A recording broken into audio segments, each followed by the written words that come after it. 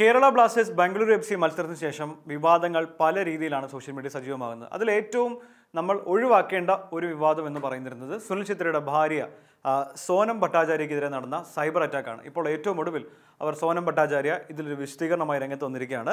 അവർ പറയുന്നത് ഇങ്ങനെയാണ്. ഫുട്ബോൾ എന്ന് പറയുന്നത് ഒരു ഗെയിമാണ് അതിനൊരു പാഷനുണ്ട് അതിനൊരു വൈരാഗ്യ ബുദ്ധിയുണ്ട് പക്ഷേ അതൊക്കെ എന്തിനാണ് ഒരു കുടുംബത്തെ ബാധിക്കുന്ന രീതിയിൽ കൊണ്ടുവരുന്നത് എന്നാണ് സോനം ഭട്ടാചാര്യ അതായത് സുനിൽ ചിത്ര വൈഫ് ചോദിക്കുന്നത്.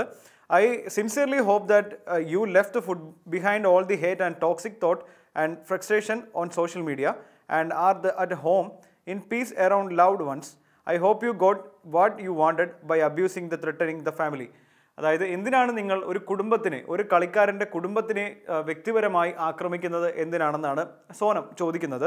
മാത്രമല്ല കേരളത്തെ പറ്റി നല്ല അഭിപ്രായം തന്നെയാണ് എനിക്കുള്ളത്. അത് ഞാൻ മാറ്റാൻ താല്പര്യപ്പെടുന്നില്ല. കേരളത്തിലെ ആളുകൾ പുറന്നു പുറന്നു വരുന്ന ആളുകളെ സ്വീകരിക്കുന്ന ആളുകൾ തന്നെയാണ്. അതിൽ യാതൊരു മാറ്റവുമില്ല. കേരളത്തിലെ ജനങ്ങൾ അത്ര സ്നേഹമുള്ള ആളുകളാണ്. ആ ഒരു നിലപാടിന് എനിക്ക് മാറ്റമില്ല എന്ന് തന്നെ പറയുന്നുണ്ട്.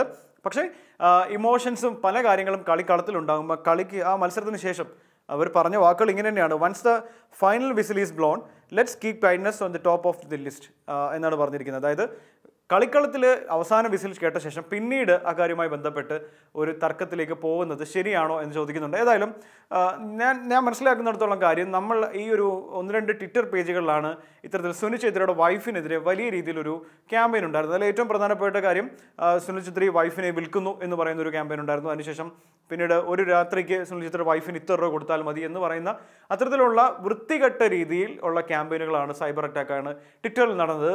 നമ്മൾ മനസ്സിലാക്കുന്ന അനുസരിച്ചാണെങ്കിൽ ഈ ട്വിറ്റർ ഹാൻഡിൽ ചെയ്തിരിക്കുന്നത് പലതും കേരളത്തിൽ നിന്നല്ല മഹാരാഷ്ട്രയിൽ നിന്നും യു പിയിൽ നിന്നും ഒക്കെ തന്നെയാണ് ഈ ട്വിറ്റർ ഹാൻഡിൽ ചെയ്തിരിക്കുന്നത്. അതുകൊണ്ട് ഒരു മലയാളികൾ ഇത്തരത്തിൽ ചിന്തിക്കുമോ എന്ന കാര്യത്തിൽ സംശയമുണ്ട്. കാരണം നമ്മൾ അങ്ങനെയല്ല നമ്മൾ സുനിൽ ഛേത്രി എന്ന വ്യക്തിയുടെ ഒരു പ്രവൃത്തിയെ നമ്മൾ വിമർശിച്ചിട്ടുണ്ട്.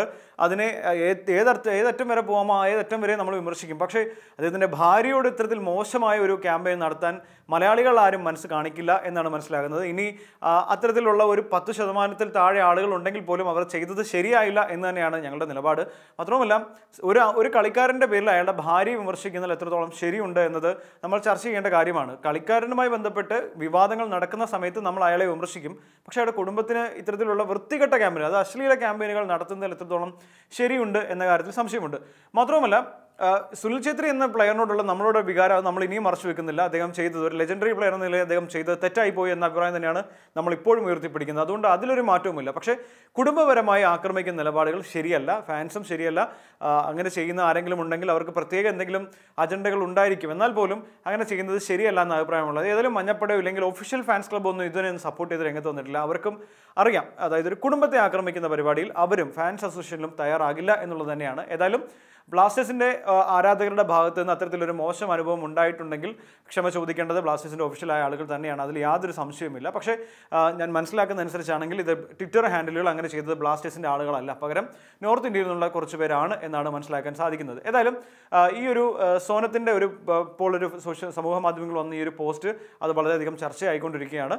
ബ്ലാസ്റ്റേഴ്സ് ആരാധകരുടെ ഭാഗത്ത് നിന്ന് അത്തരത്തിൽ എന്തെങ്കിലും വീഴ്ച ഉണ്ടെങ്കിൽ അത് ശരിയായില്ല എന്ന് വേണം പറയാനായിട്ട്. ഈ ഒരു സ്റ്റേറ്റ്മെന്റിലൂടെ തന്നെ ഒരു സ്ത്രീ എന്ന രീതിയിൽ പോലും അവർ നേരിടേണ്ടി വരുന്ന വിവേചനങ്ങളെ പറ്റി കൂടി അവർ പറയുമ്പോൾ അതൊരു നമ്മൾ വലുതാനം ആഘോഷിച്ച് കഴിഞ്ഞതേ ഉള്ളൂ. അപ്പോൾ തന്നെ നമ്മളിങ്ങനെ സൈബർ ആക്രമണവുമായി ബന്ധപ്പെട്ട് ഒരു കുറിപ്പ് വരുന്നത് വളരെയധികം വേദനാജനകമാണ് എന്നേ പറയാൻ കഴിയുള്ളൂ.